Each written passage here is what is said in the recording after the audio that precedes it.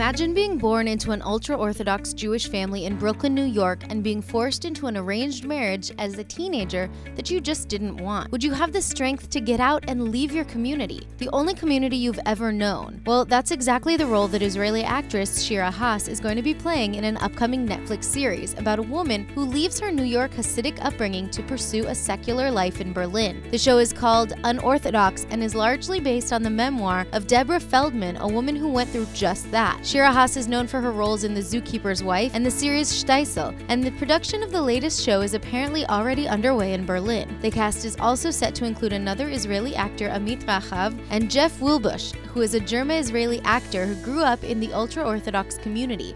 And get this, the show will apparently be in both Yiddish and English. Unorthodox is expected to hit Netflix sometime in 2020.